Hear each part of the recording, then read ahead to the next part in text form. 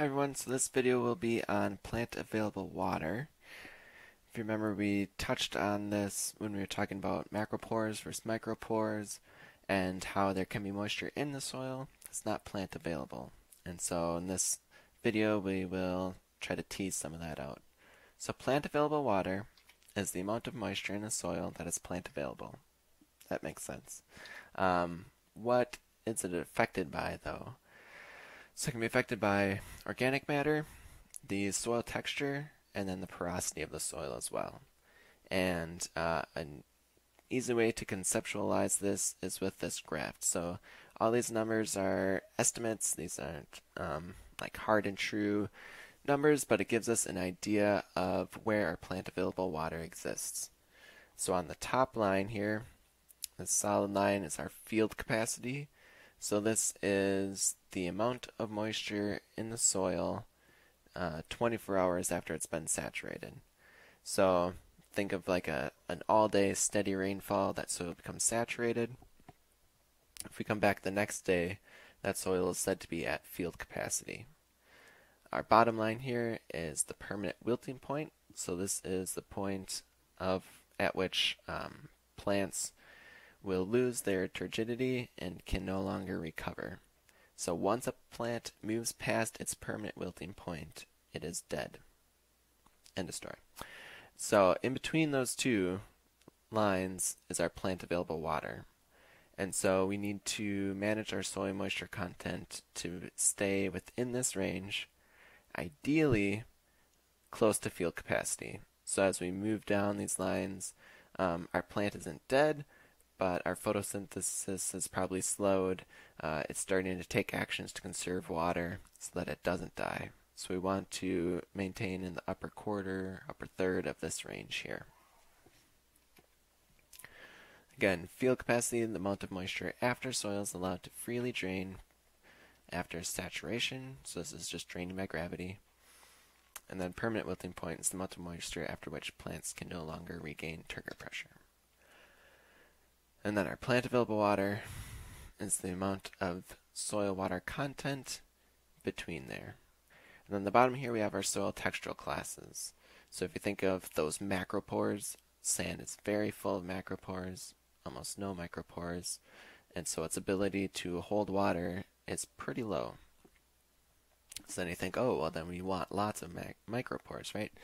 Well, when we have all those micropores, the particles are able to hold onto the water stronger than the plant can get it. And so this is why we see our most productive soils in this loam to silt loam area here.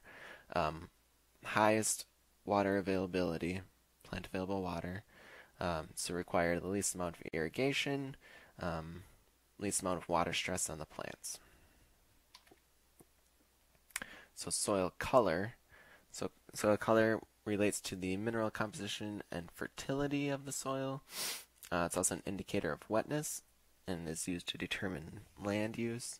Provides many valuable clues uh, in sort of the history of the site. So if you're there on one day, looking at the soil color can give you an idea of what the soil moisture looks like over the course of a year or over the course of several years. It's sort of a snapshot into the history of the soil people think of soil, they might think of dirt and think that it's brown, it's dark, it's dirty.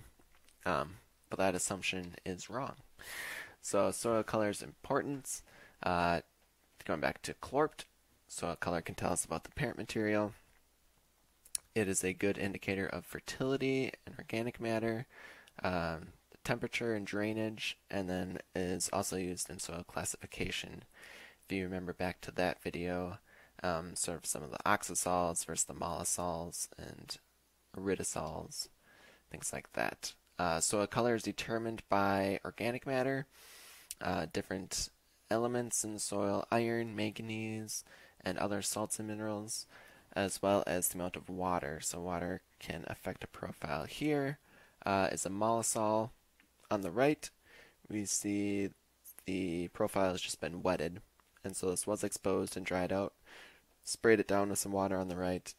So the between the right soil and the left soil, exact same soil, this side has just been wetted. So that's the importance of moisture when determining soil color.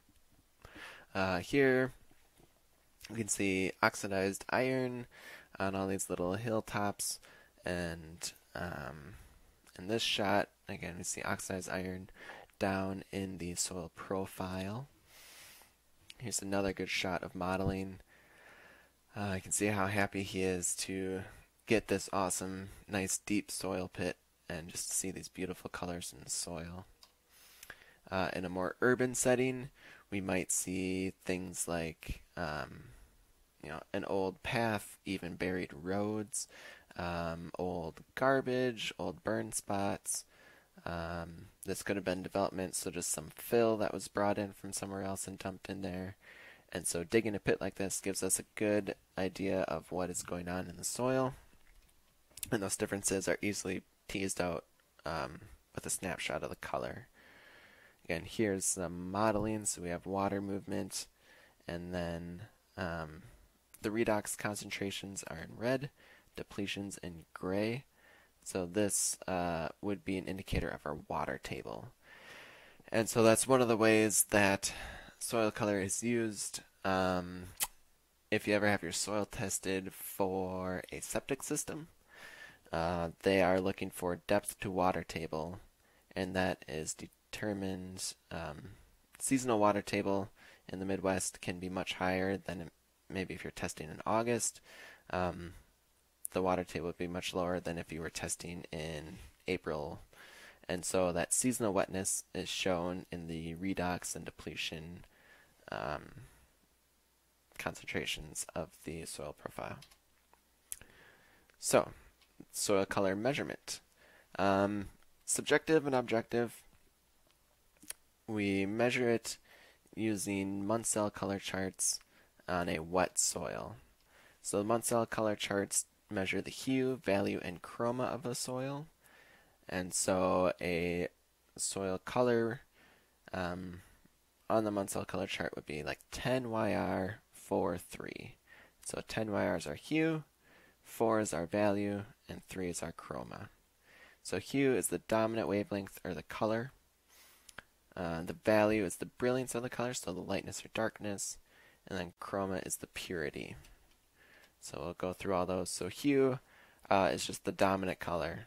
10YR, 5YR, um, really common in our Midwest soils here.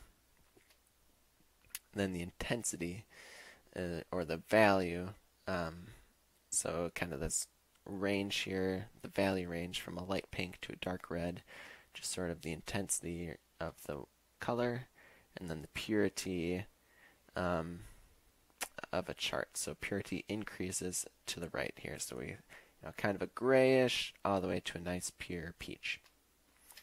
And so here's a shot of a color page on the Munsell color book. And then, so we have our value. Pages are orientated by value. So this page is 10YR. Or sorry, not value, hue. Each page is a different hue. So we have 10YR, then we go to value on the left. So from 2 up to 8 on this sheet, and then our chroma on the bottom, so 1 to 8. And um, you hold the soil behind the chip. So here's the soil sample through the little viewing glass or viewing window. And then you do this in full sun of a wet soil sample to determine the soil color. So here's an example. If someone records a soil color of 10YR64, so the hue is 10YR, value 6, chroma 4, and it ends up being this yellowish brown color right down here is 10YR64. So that's the proper way to, to note that and to say that it's not 10 years 64, it's 10YR 64.